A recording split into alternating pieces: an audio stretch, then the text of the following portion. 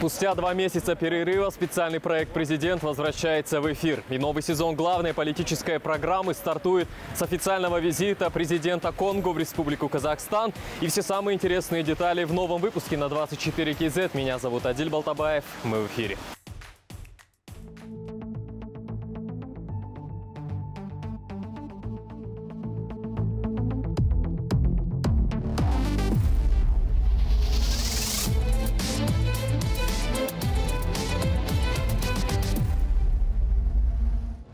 В главном холле Аккорды собираются политики и журналисты. Визит однозначно привлек внимание СМИ, ведь такой контакт на высшем уровне происходит впервые, поэтому важно знать и понимать, как изменятся отношения двух стран. Это ли обсуждали глава Самрук Казна Нурлан Жакупов и министр промышленности и строительства Канат Шарлапаев, мы не знаем, но беседовали они долго. Делегатов выстроили в ряд. Это значит, что вот-вот в зале появится Касымжумар Токаев. Но пока еще есть время, тот же министр Шарлапаев успевает отправить несколько СМС. Работа не отпускает.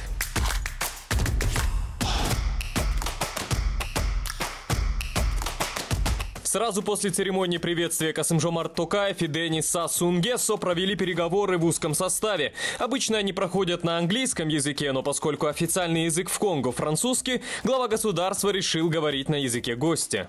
Monsieur le Président, tout d'abord, bienvenue au Kazakhstan. Votre visite Мы рады видеть вас в Казахстане. Убежден, ваш первый визит в нашу страну придаст мощный импульс развитию двусторонних отношений. Считаю, что у нас есть огромный потенциал для дальнейшего сотрудничества. Для нас большая честь находиться в Астане в преддверии 25-летия со дня установления дипломатических отношений между нашими странами. Уверен, этот визит еще более укрепит взаимодействие в политике, дипломатии и экономике, а дружеские отношения наших народов выйдут на новый уровень. Следом переговоры в расширенном составе с участием официальных делегаций говорили о перспективных направлениях для сотрудничества. У нас в прошлом году товарооборот составил 14 миллионов долларов. Основные позиции экспортные – это изделия металлические, э, значит, трансформаторы у нас были. Э, Кроме того, продукты сельхозпереработки. Теперь же стороны намерены рассмотреть взаимодействие в сельском хозяйстве, транспорте и логистике, промышленности, инвестициях, новых технологиях и освоении космоса, а также в горнодобывающей сфере. В завершении переговоров лидер Конго пригласил президента Казахстана нанести ответный визит в его страну. В эту дверь через несколько минут войдут президенты, поэтому подполковник проверяет, все ли исправно. В этой папке соглашения и меморандумы скоро начнется церемония обмена документами. Последние проверки аудиосистем, чтобы всем хватило наушников. Ну а пока лидеры не пришли, министры иностранных дел обеих стран используют это время для обсуждения межгосударственных дел.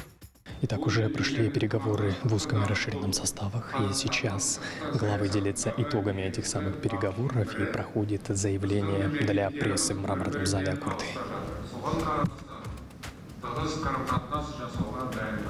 Во время брифинга среди делегации Конго началась суета. В какой-то момент нам даже показалось, что что-то пошло не так.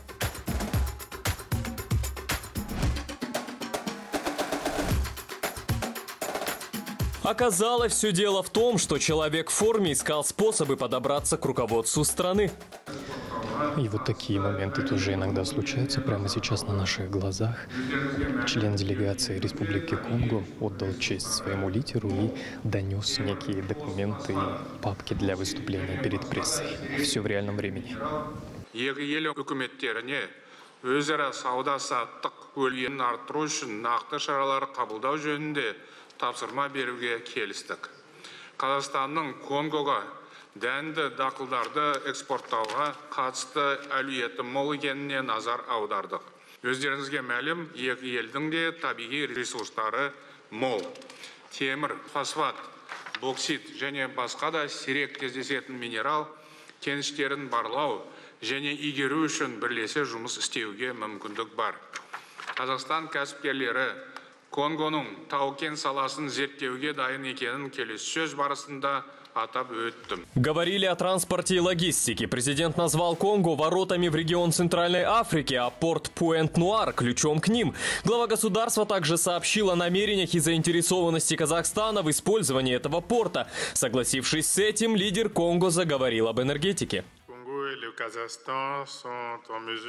Экономика нашей страны основана на нефтяной промышленности. Казахстан имеет большой опыт в этой сфере. Кроме того, мы можем совместно работать над освоением и других видов природных ресурсов. Энергетический сектор Конго готов предложить казахстанским компаниям большие возможности. По итогам визита стороны подписали 10 соглашений и меморандумов. Спросили о некоторых из них министра энергетики Алмасадама Саткалиева. В области энергетики мы говорим о строительстве энергообъектов как в Казахстане, так и в Республике Конго, э, создание благоприятных условий. В основном речь идет о строительстве наших, привлечении казахстанских инвесторов в Республику э, Конго, но в то же время мы э, также готовы предоставить им соответствующие возможности, то есть на паритетной основе все, что связано с преференциями в области администрирования, регулирования, таможенных, налоговых льгот. Саткалиев также поделился о планах Казмунайгаза в Конго. Как мы знаем, э, у Казмунайгаза достаточно амбициозные планы, то есть они планируют выходить на международные э, рынки, и направление э, Конго считается очень перспективным, исходя из геополитического э, вот, расположения и исходя из тех условий, которые предлагают для компании Казмунайгаз по инвестированию в месторождение Республики Конго. Ну а когда солнце село, глава государства отправился в аэропорт, чтобы лично проводить гостя. Президент Конго явно оценил такой жест.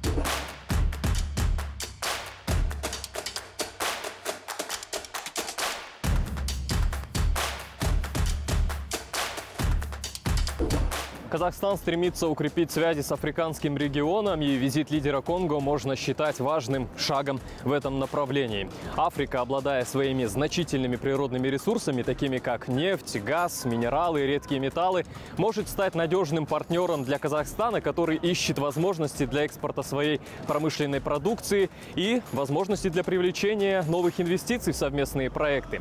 Более того, сотрудничество с африканскими странами позволит Казахстану укрепить свои позиции на международной арене, демонстрируя готовность и открытость к сотрудничеству с новыми регионами. Такая вот многовекторность. У нас на этом все. До встречи.